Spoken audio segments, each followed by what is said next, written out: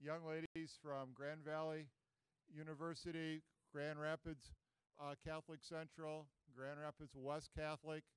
I had all of the mentors who came and had lunch with us today. Uh, Kettering University, all of our all of our young ladies that spent time with you today. Let's give them a round of applause.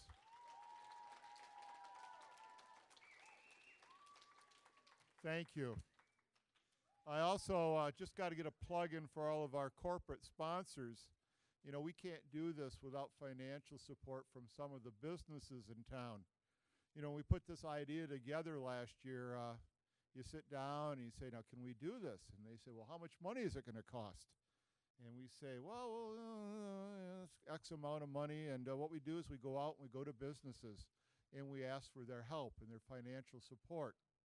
And one of the nice things was Fifth Third Bank this year. They, they helped us do all the marketing for this event. So uh, if you're going to open up a savings account, go to Fifth Third. okay, they'll they'll work with you. Um, they were fantastic. Um, the American Association of University Women. Now there's there's raise your hand back there. There, there there's back there. There's two uh, retired young ladies from the American Association of University Women. That's what we hope you grow up to be a retired American Association of University Women. You go on and get your degree and you, you keep active. Um, Grand Rapids Community College, Dr. Batten over here, Jennifer, and any other uh, volunteers from Community College who are in here. Thank you very, very much. We could not have done this without you. Then we have Kettering University out of Flint. We got Eve Vitale right here, and we got Armin Omedian in the back there. When we first started this project, Armin had a full head of hair. Now look at him today. you want to stand up, Armin? know, big hand for Armin. Thank you, and Kettering. I want to I want to thank Rockford Construction and AMDG Architects. They, uh, they wrote the check to cover the cost of the T-shirts. And then I want to thank the uh, young ladies from uh, West Catholic and Catholic Central. Uh, thank you, everybody. Uh, today, our, our keynote speaker is the Chief Financial Officer for Fifth Third Bank of Grand Rapids, West Michigan. That means she's the chief financial officer. She's in charge of all the finances at Fifth Third Bank here in West Michigan. She has a Bachelor's of Arts degree in accounting from Michigan State University in East Lansing. She's worked at Northern Star Minerals as an accountant, Jackson National Life Insurance as an investment analysis, and she is a board member for the Southeast YMCA and a board member for John Ball Park Zoo. She's going to talk to you for about 15 to 20 minutes here, and I'm very proud to introduce to you Miss Tracey Hornbeck from Fifth Third Bank.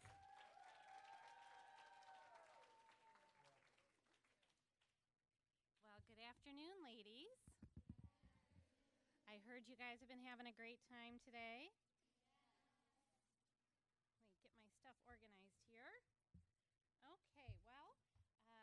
heard, my name is Tracey Hornbeck, and I am the Chief Financial Officer at Fifth Third Bank.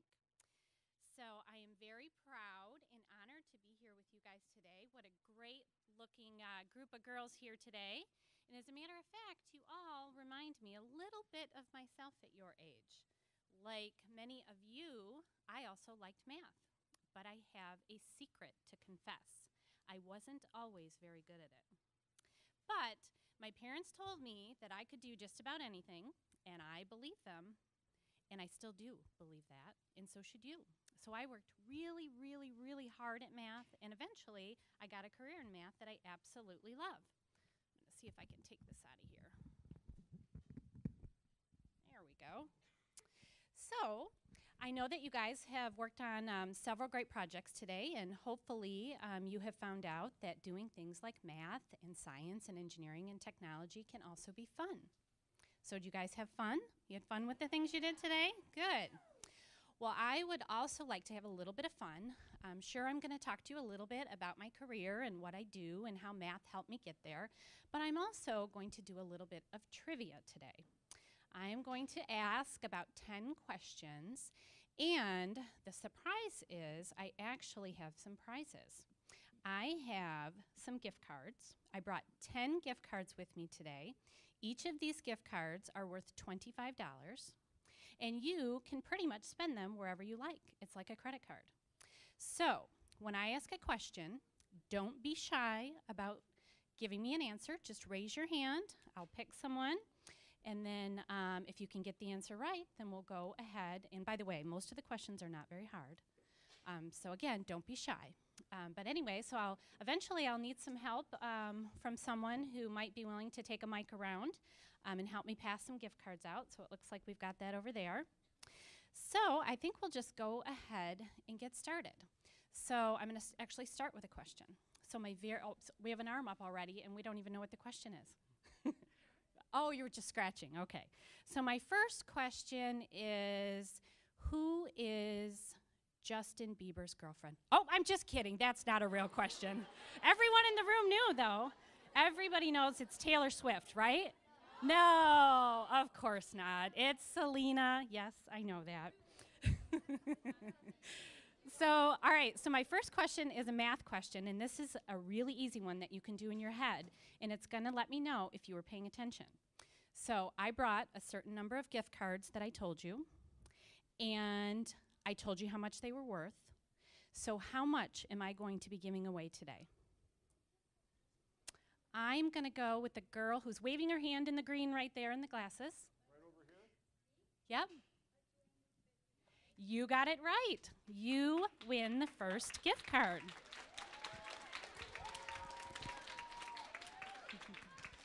Congratulations. Okay, so I'm going to start by telling you a little bit about who I am. Um, first and foremost, I'm a mom. Yes, I have a big job at work, but I also have a big job at home. I have been married to my husband John for about 14 years, and we have three boys Jacob, Matthew, and Ryan.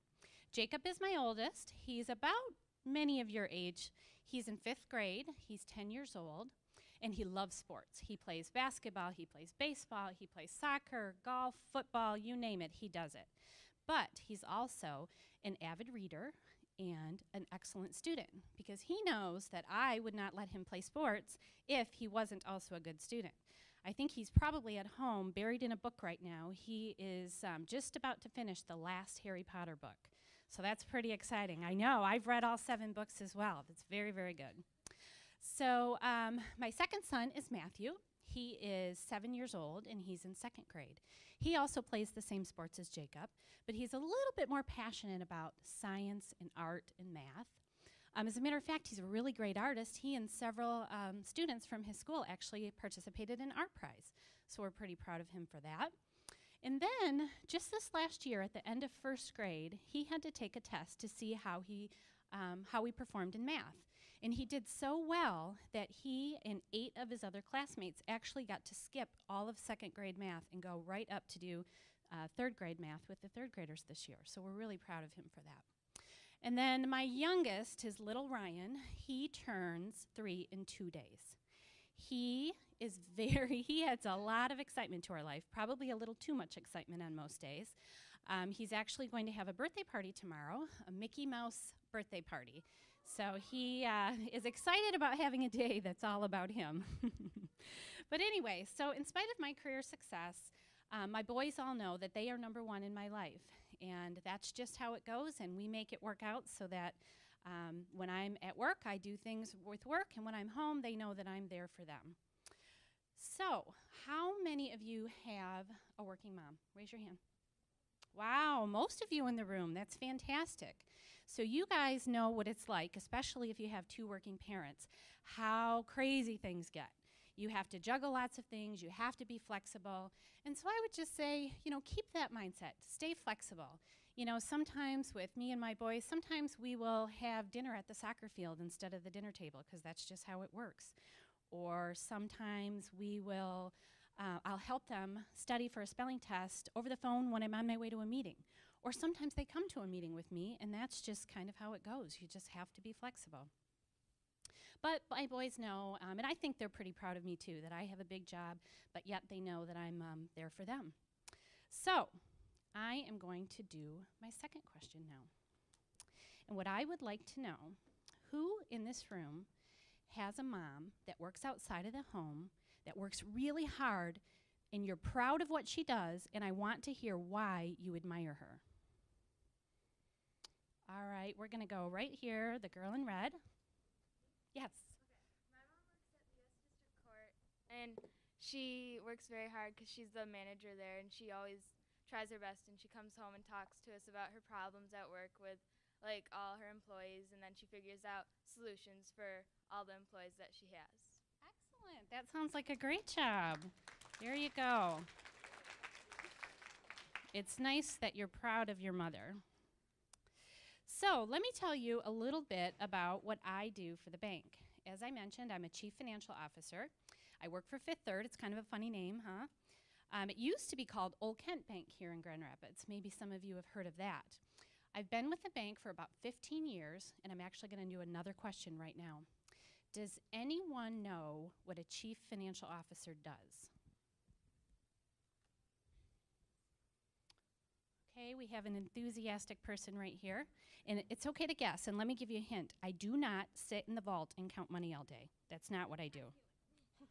A chief financial mark- uh, manager, this is, I'm guessing, they work with all the finances, the mortgages, and all that s- stuff, and they're the manager of all of it. Like, they have to handle all of it. That is a very good guess. There you go. And you are actually very close.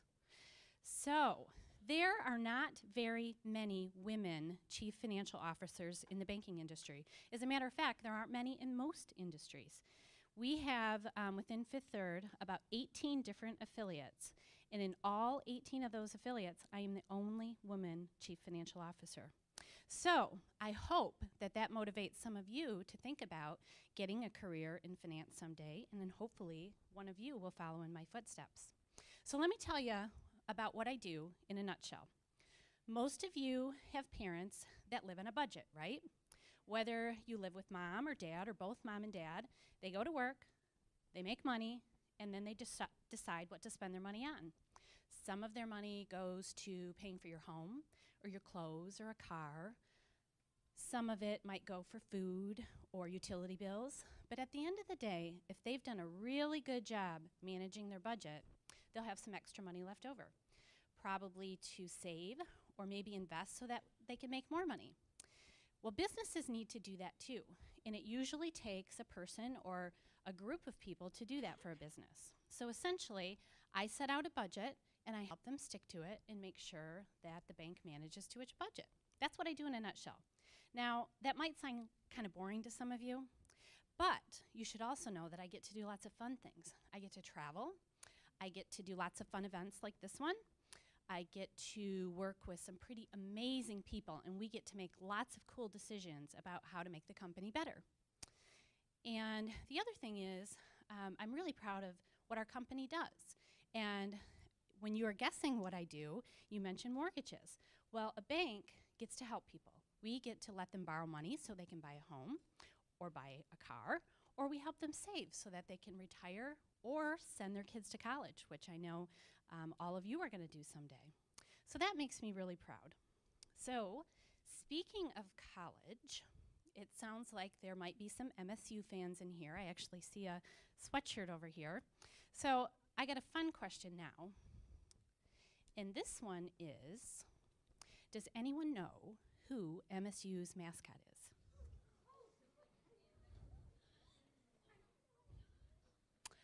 Let's see. How about someone way in back? I see a girl right back at the. Yep, you. MSU's mascot.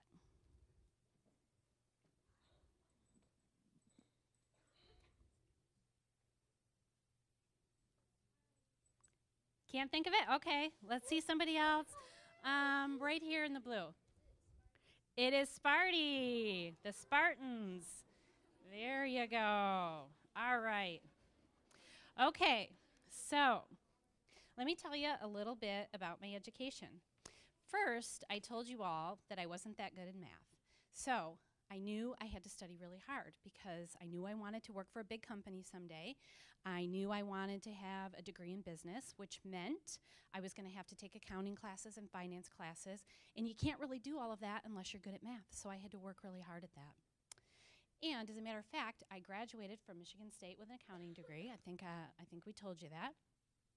And really, what I would like you to know is that at your age, you really do need to start thinking about college. Maybe you aren't at the point where you're going to visit colleges, but if you're starting to think about what you might want to do someday, you really should start thinking today about what colleges will help you get, um, help you make the choices to get to the career that you would like. So I have another card to give away already. This one has to do with college. I would like to know if there's anyone in this room that has already started to think about what college they would like to go to, and I want you to tell me why you are choosing that college. Go right here. Um, I want to go to MSU because I sort of want to be a vet. Oh, excellent. MSU has a outstanding veterinary program. I hope that you accomplish that goal. All right, so let me tell you a little bit about the jobs I've had because they haven't always, um, I haven't always been a CFO. So I did a little bit of babysitting. How many of you have done some babysitting? Probably a lot. Uh, but my first job was as a salad girl.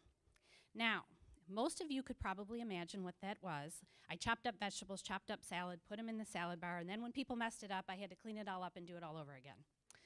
Well, after one summer, I realized that that was not going to be the love of my life job.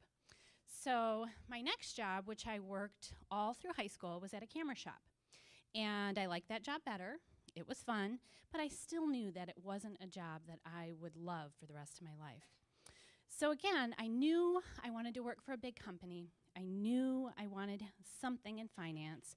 And what I started to do was research companies. I actually grew up in Muskegon. Is anyone here from Muskegon? No? Yes? Excellent. I grew up in Muskegon and I used to come to Grand Rapids a lot. And there were two companies in Grand Rapids that I started to really admire. I learned everything I could about those companies. In high school and even in middle school, I started to do projects on them and learn everything I could. They were two big growth um, companies. I knew they had a lot of opportunity, and I knew that they would be perfect for me um, if I wanted to go into finance or business.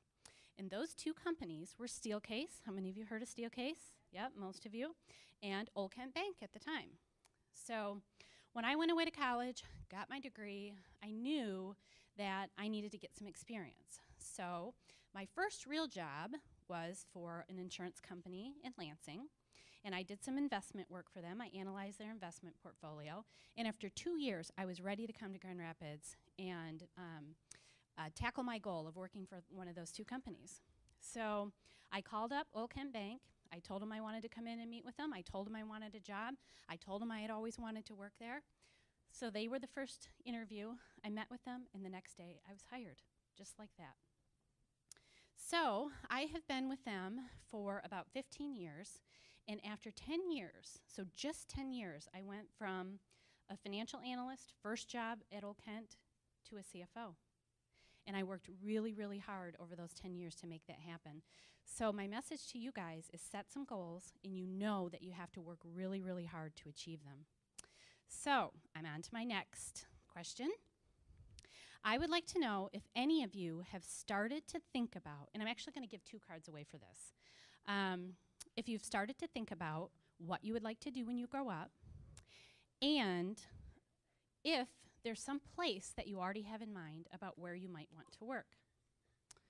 So I'm going to do someone in the back here. Okay. Mike, you want to go ahead and pick someone back there? Right here? Okay, perfect.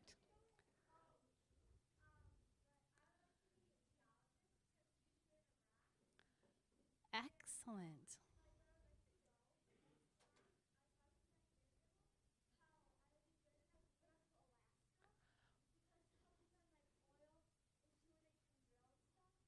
Wow, what an excellent goal. This is for you. All right, let's um, go all the way to the other side of the room. Um, how about this young lady back here in blue? Y- yes, you. into the medical field. Oh, I want to go into the medical field, and I want to someday hopefully work at Spectrum because my mom works there also. Oh, excellent. Any particular um, field within medical? Like, Um, probably something like a heart surgeon. wow, now that is a big goal. Well, I certainly hope that you are able to achieve that. I know you guys all probably have some pretty amazing goals, especially if you're here today learning about science and math and all of those wonderful things. Okay, so you guys heard what I did, and what I would like you to all think about, and I think some of you have already started to do this, is this, this is a great project for you to work on, maybe with um, your parents or maybe a teacher. But I want you to start to think about companies that you might be interested in working for someday. I want you to do research on them. I want you to understand um, what they do and what the future of that company is. Then, what I would like you to do, again, maybe you work with um, a parent or a teacher, I want you to call them. I want you to call up that company and let them know that you would like to job shadow there someday. Then, when you're in college, I would like you to go to that company and tell them that you want to do an internship there. And then, when you graduate from college, I would like you to go there and tell them you want a job. And when you get in, I would like you to get in there and knock their socks off. Now, does that seem pretty far fetched? You know what? It's not. That's just about what happened to me in my career path. So it's not very far fetched. All right, I want to talk to you about two more things today. We're almost done. The first thing is about community service. One thing that I love about my job is that it allows me to go out and do fun things in the community, to volunteer, to do great events like this today. I have another card to give away. Can anyone tell me why community involvement and community service is important? Um, how about right here? Isn't it because, like, c- like the communities? Oh, like, like because if somebody's like the doctors help, if somebody's dying, they help them and to save their lives. Yeah. I think you make plenty of good points there. You know, not everyone can save someone's lives like a doctor could, but you know what? Just even every hour that you might do, even if it's a small service project, all of those things help make your community, your city, and your environment better. So I hope that that is something that you start to love someday and that you plan to give back to your community. You know, you heard that I'm on the board at the John Ball Zoo and at the YMCA. Now, what I do for them when I sit on a board, I simply just talk to them about budgeting. I help them budget. I help them stick to their budget. I talk to them about accounting. I talk to them about finance. And it really helps make them um, a better organization. I mean, who doesn't love the John Ball Zoo, right? You know, lots of great things going on there. So, anyway, I hope that you find a love for that as well. The last thing that I want to talk to you about is mentoring. Mentoring is a very important part of life at Fifth Third Bank. My boss is also a woman, and she believes very strongly in mentoring other women in the company to help them succeed, help them um, move forward as quickly as possible. And I'm really a product of that. I've had many women in the company help me, give me advice, help give me tools to succeed, and as a result, I believe in that as well.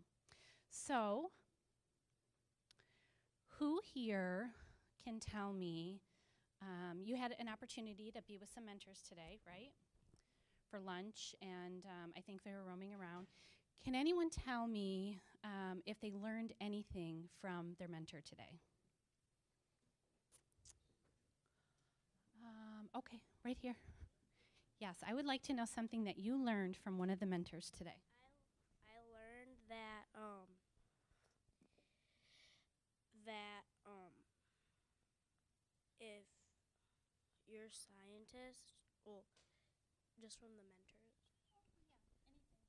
Well, today I learned that um that if you mix any um anything um that you can get a whole new substance. Well, excellent, excellent.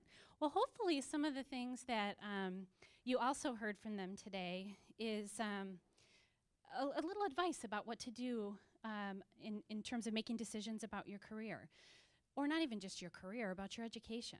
So, I guess what I would say is I really encourage you to go out and find a mentor.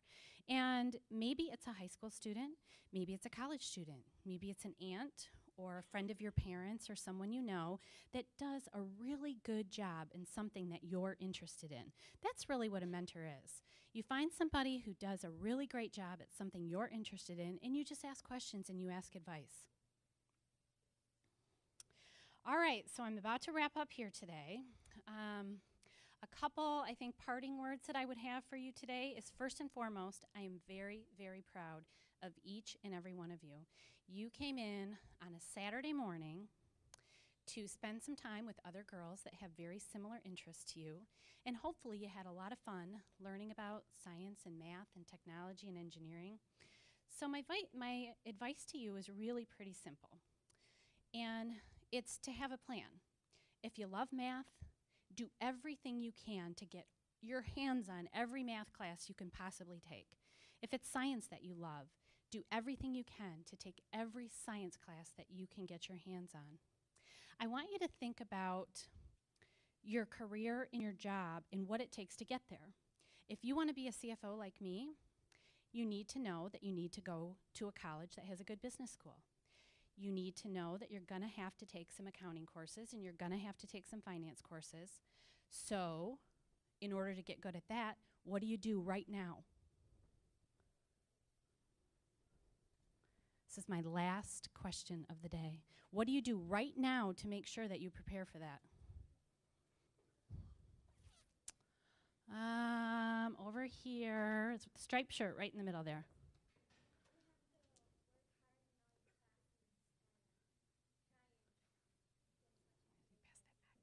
That's right, especially if, if you want to go into business, accounting, and finance, what do you need to study now? Math, that's right. So, anyway, um, I guess the last thing I would say to you is you know, make sure that you do research colleges early. If it's math or science that you love, find a college that excels at that. Do the homework early. Make sure you're asking your parents to take you to colleges to visit campuses over the summer. Um, I want you all to find a mentor. It can be someone, um, like I said, high school student, college student. Find a mentor. And then lastly, is just really work hard, go above and beyond, do everything you can to study, do everything you can to help yourself in the long run because good grades now will turn into good grades in high school, will turn into good grades in college, will turn into a great career for you. So, finally, I just want to say I want you to be proud of your success, and it's very, very cool to be smart. And remember that cool to be smart. Work hard, you will never regret it, and it will set you up for your future later. All I have for today. Does anybody have questions?